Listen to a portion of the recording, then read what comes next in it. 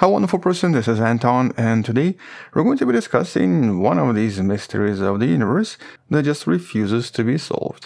One of the most persistent and one of the most frustrating mysteries in all of modern science, dark matter. The invisible substance or the invisible phenomenon that seems to be holding a lot of galaxies and galactic clusters together and seems to produce a lot of gravitational effects such as powerful gravitational lensing effects but the phenomenon whose origin is a little bit unclear. We know it's out there, we see a lot of different effects, but after decades and decades of search and different experiments, and after trying different methods to trying to find it, so far the actual particle producing these effects remains more or less elusive. Now there have been some hints here and there, but nothing concrete yet, and nothing definitive enough that could finally settle this mystery. But what if the answer to the search for dark matter wasn't actually hiding in some kind of a lab, but instead could be found in our kitchens. Because believe it or not, today we're going to be discussing a really intriguing study, the study that you see right here, where a group of international researchers proposed a new fascinating approach to solving this mystery. Here, we can actually use something very common sugar, and specifically sugar crystals, with the project now referred to as SWEET. And though this might sound kind of unusual and possibly even silly, here, this actually proposes something really interesting that can be used in a lot of other fields, because in essence, scientists here propose creating an extremely sensitive detector that can actually be used for a lot of different sciences, and possibly even lead to some really intriguing discoveries that have nothing to do with dark matter at all. And so in this video, let's discuss this a little bit more, talk about dark matter research and dark matter search in general, and also briefly discuss some of the other previous unusual propositions, such as, for example, using DNA. But first, let's review some of the basics in case you're not really familiar or forgot what dark matter is. And so, first of all, how do we know it even exists? Well, in the standard model of cosmology, only a very small fraction of matter seems to be made out of protons, neutrons, and electrons and so approximately 85% of all of the mass in the universe seems to be made out of something we just cannot see. We know it's there because it produces a lot of gravitational lensing effects, and they cannot really be explained in any other way, but exactly what produces these effects is of course unknown.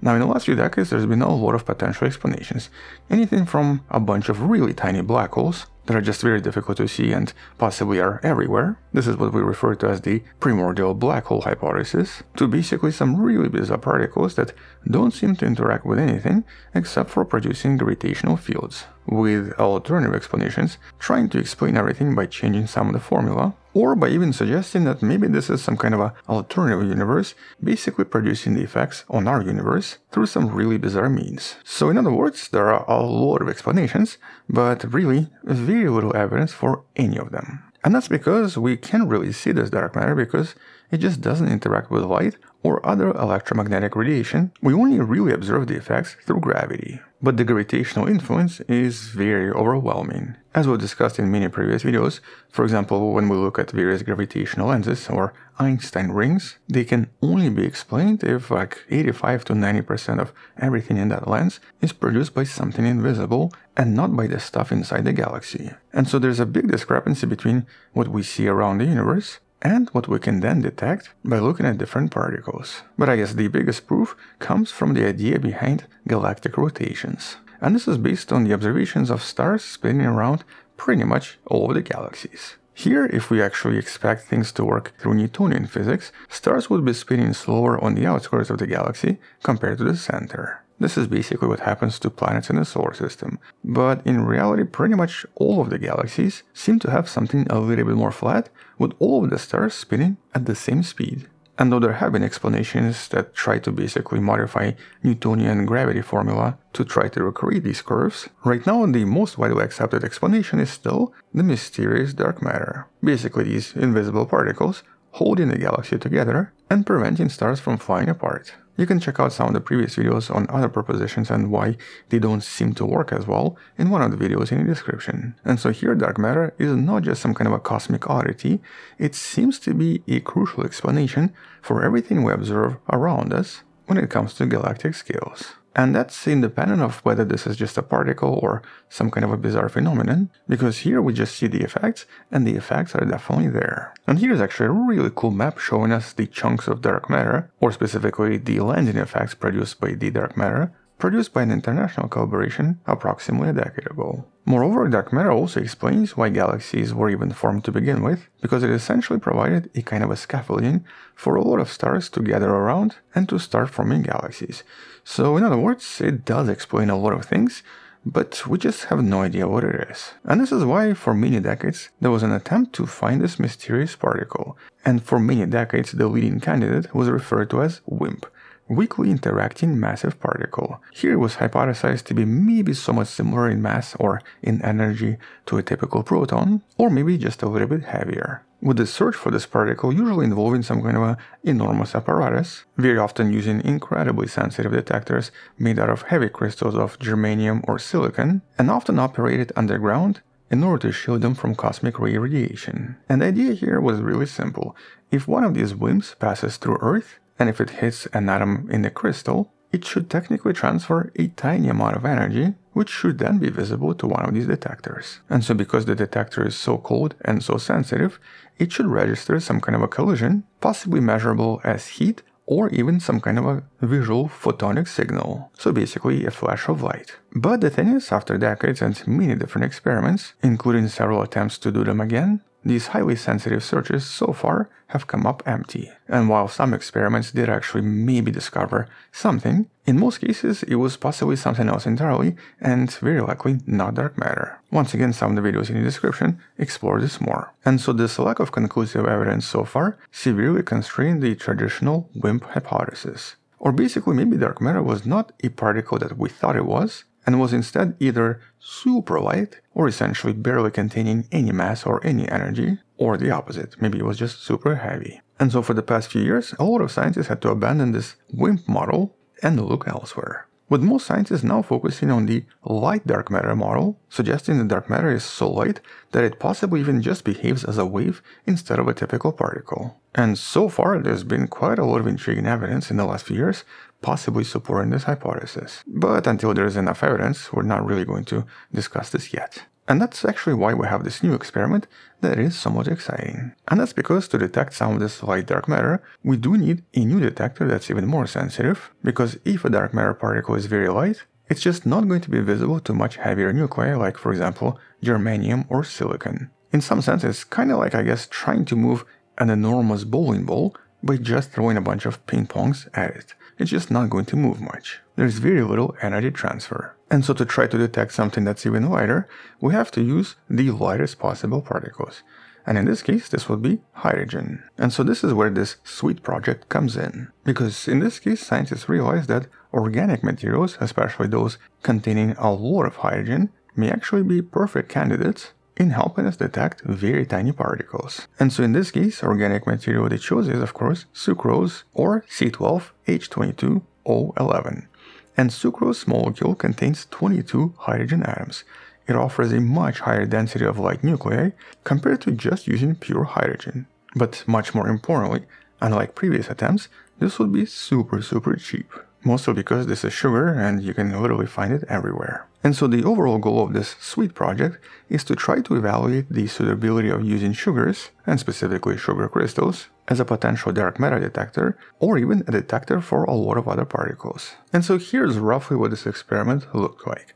In this case, to conduct this experiment, first they had to grow the target.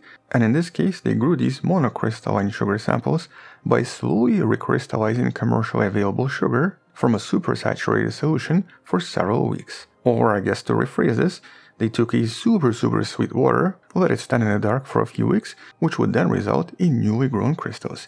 Which by the way is a super fun experiment if you have young kids. I did this with my son a few weeks back and he absolutely loved it. And so then by growing these crystals they chose one as the main sample. Here it was just under 1 gram, with the next step being refrigeration. This was done at the Max Planck Institute for Physics in Germany, where the sample was cooled to an extremely cold temperature of just 7 millikelvin, almost absolute zero. With the crystal then assessed in two different ways. First with a heat sensor in order to detect tiny thermal pulses possibly produced by particle interactions, and by using a very highly sensitive light detector, which would possibly detect some kind of a light flash or some kind of a light scintillation that may be produced if a particle strikes the crystal. And in this case, trying to detect both heat and light simultaneously is crucial for a lot of these cryogenic detectors. This is because anything else might be produced by some kind of a noise or accidental interaction, but if you detect both heat and light, this is usually the result of a particle collision, and then they essentially waited for approximately 19 hours collecting data, with the initial findings confirming that sugar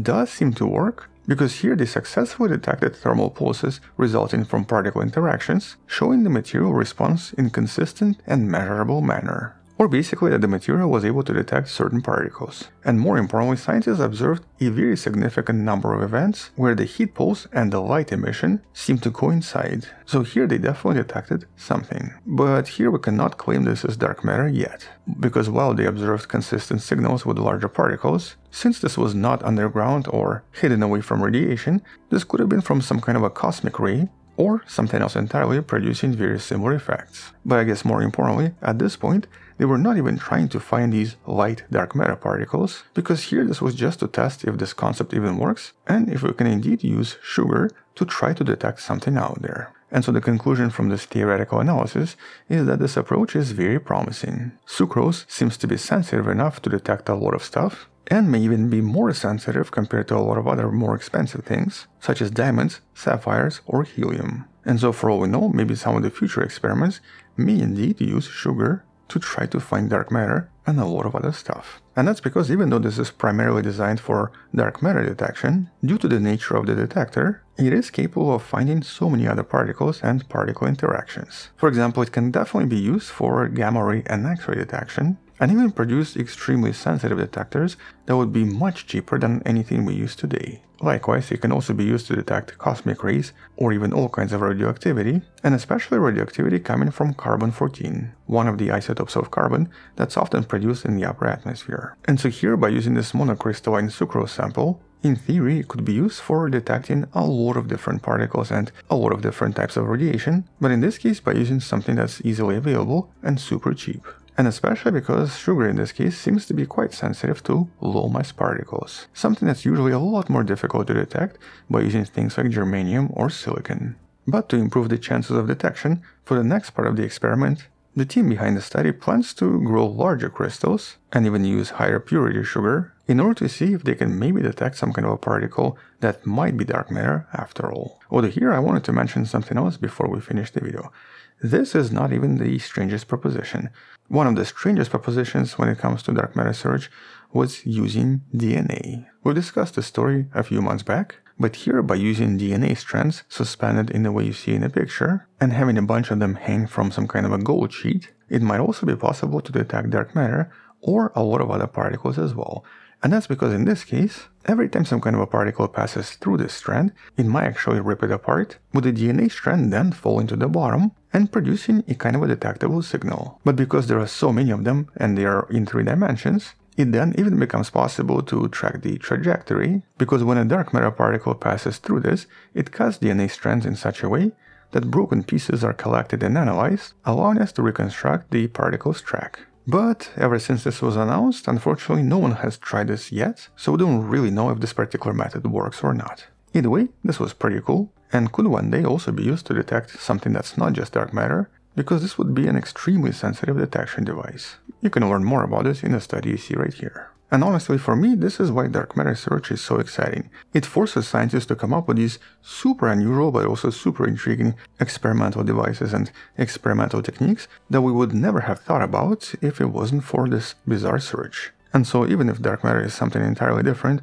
and even if we never find it, just because of all of the devices that were created in the last few years, the actual search itself has already led to a lot of technological advances and a lot of super cool devices. And chances are that in the next few decades, some of these creations might find their way into other industries. But once we discover something else about this mysterious dark matter, we'll come back and discuss this more in some of the future videos.